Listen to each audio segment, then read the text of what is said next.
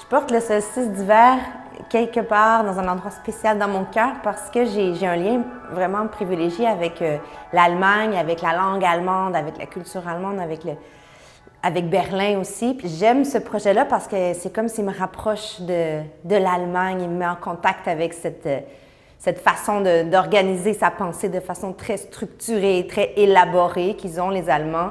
Puis cette espèce de, aussi d'humour. Euh, et de hum, décadence, je dirais, euh, qui pour moi est vraiment typique à, leur culture ou à leur, façon d'écrire, de créer.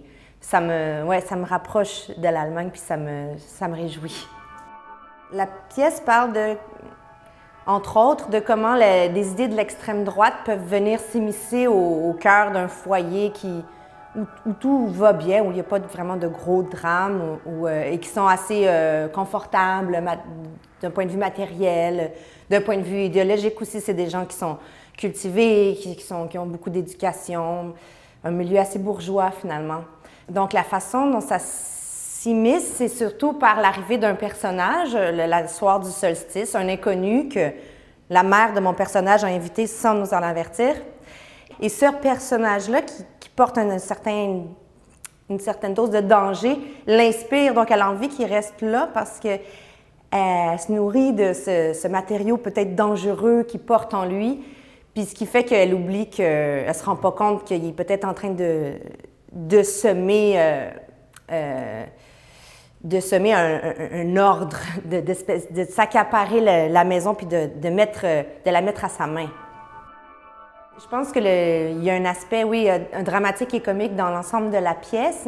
Je pense que l'aspect comique vient de, de la globalité de la pièce, donc de tous les personnages. Dans, dans l'ensemble des personnages, moi, je pense que mon personnage, c'est plus le clown blanc. S'il y a des clowns, il y a des personnages qui sont plus euh, fous, plus euh, éclatés que le mien.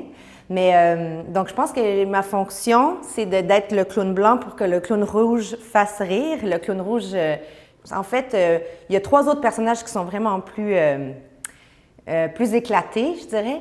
Et puis, donc, je pense qu'on arrive à créer l'humour dans le contraste, puis dans la, rupture de ton aussi. il y a aussi une part d'humour qui vient, je pense, de les personnages boivent tout au long de la pièce. Fait qu'avec l'ivresse, il y a des, aussi des, relâchements, des, pertes d'inhibition qui, je pense, qui sont quand même on ne va pas s'esclaffer, mais qui sont quand même euh, vraiment agréables comme spectateurs à regarder, de voir des gens se lâcher lousse, puis se dire des choses qu'ils devraient garder peut-être pour eux.